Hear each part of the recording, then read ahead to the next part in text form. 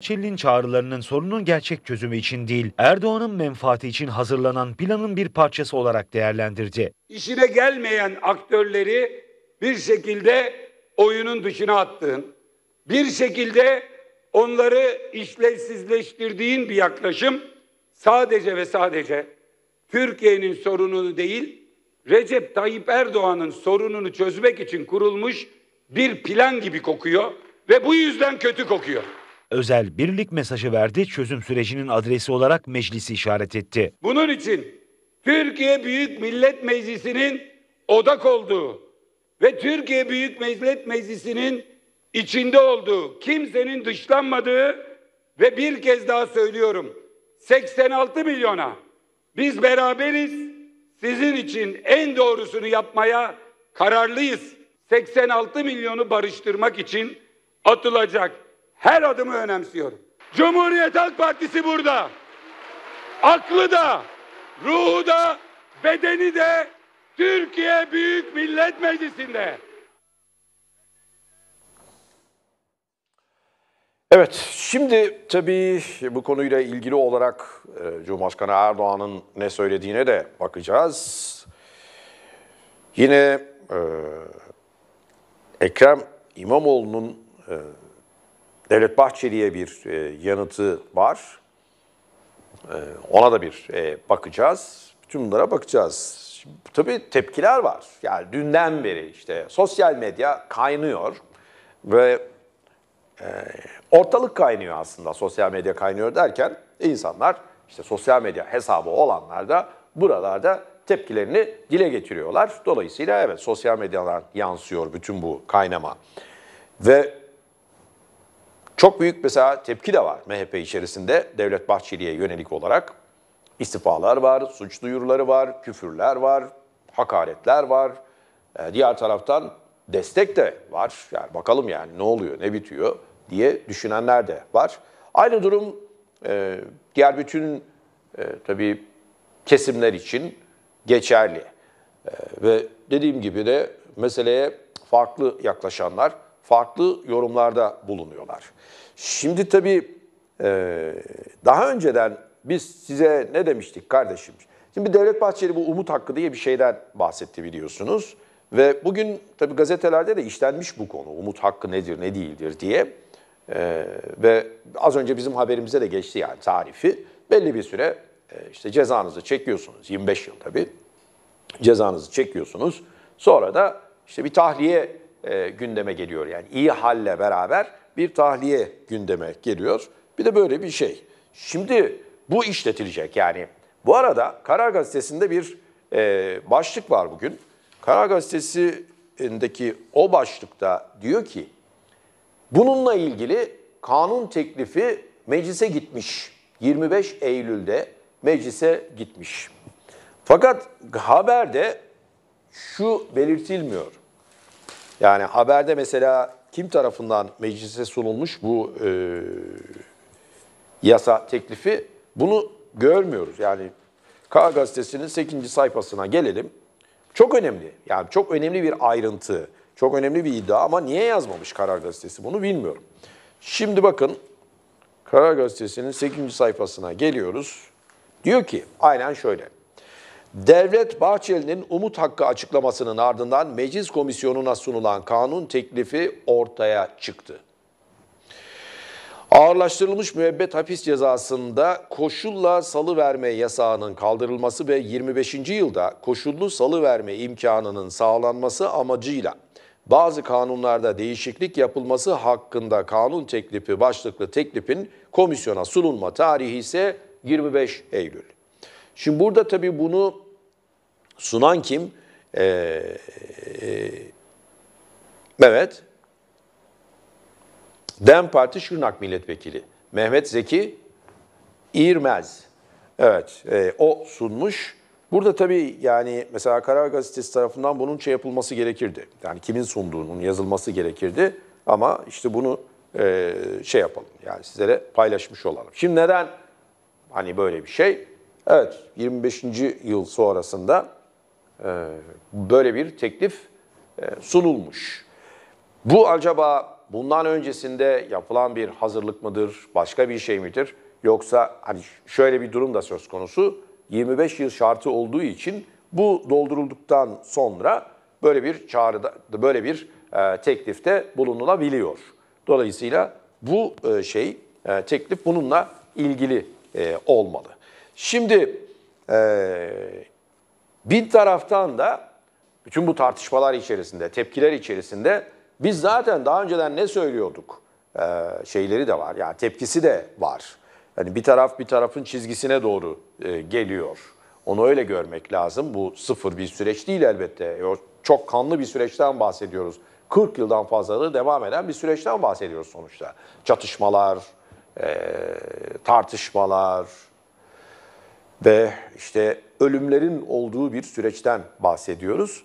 Ve şimdi bakın mesela bu söylendikten sonra yani e, Merdan Yanardağ bundan bir süre önce yani bu umut hakkıyla beraber bunu hani şey yapıyoruz. E, umut hakkıyla beraber Merdan Yanardağ biliyorsunuz e, tutuklu kaldı. Neden tutuklu kaldı? Gözaltına alındı, tutuklandı e, ve e, bir süre cezaevinde kaldı Merdan Yanardağ. Bir programda yapmış olduğu açıklama nedeniyle, ortaya koymuş olduğu bir görüş daha doğrusu nedeniyle e, Merdan Yanardağ e, gözaltına alındı, tutuklandı, bir süre kaldı, sonra bırakıldı. E, peki Merdan Yanardağ ne demişti ki o zaman? Ne demişti? Bir takım e, bu infazla ilgili kuralları gündeme getirmişti sadece ve bu niye uygulanmıyor gibisinden bir soru sormuştu.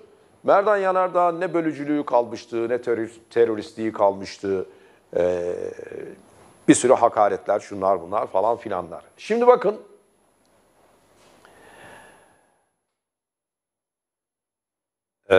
Diyor ki Merdan Yanardağ çok haklı olarak.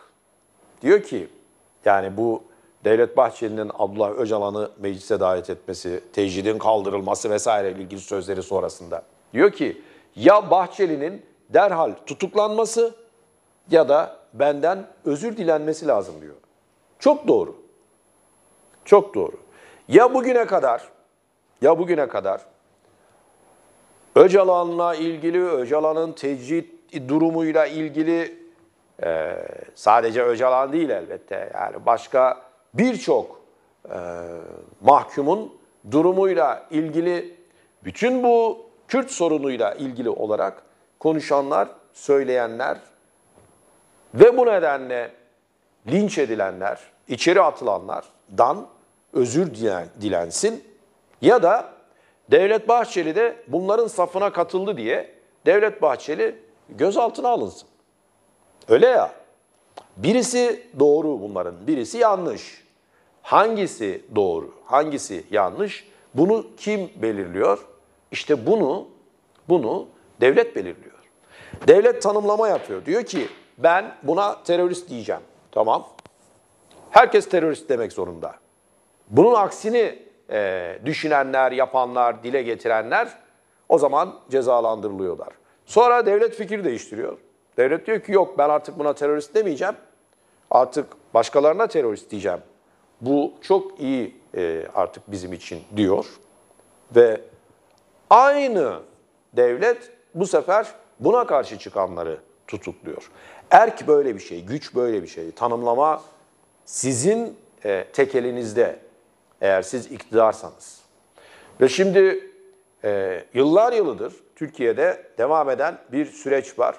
O zaman Devlet Bahçeli'ye de Erdoğan'a da ki öncelikle Devlet Bahçeli'ye yani onun gelmiş olduğu geleneğe de bir şekilde sormak lazım. O zaman bu kadar yılı niye kaybettirdiniz ki Türkiye'ye? Öyle ya. Niye kaybettirdiniz Türkiye'ye? Niye daha önceden mesela böyle bir şey yapmadınız? Ne oldu da şimdi böyle bir şeye ihtiyaç duyuyorsunuz? Ne oluyor? Bölgede ciddi gelişmeler var. Ciddi olasılıklar var. Türkiye'nin de önünde, bütün ülkelerin önünde ciddi olasılıklar var. Türkiye'nin de önünde olasılıklar var ve şimdiden Türkiye ön almaya çalışıyor. Bu sadece şu değil, sadece değil hatta çok küçük bir kısmı e, işte Erdoğan yerini sağlamlaştırmaya çalışıyor. Erdoğan yeni seçime hazırlanıyor. Erdoğan O yüzden DEM Parti'ye ihtiyaç hissetti falan meselesi değil bu. Ya böyle, böyle saf saf bakanlar var bu meseleye. Bu mesele böyle bir mesele değil. Bu mesele çok daha geniş çapta ele alınması gereken ve dediğim gibi bölgedeki tüm devlet ve aktörleri ilgilendiren, kesimleri ilgilendiren bir e, mesele ve şimdiden ön almaya çalışıyorlar.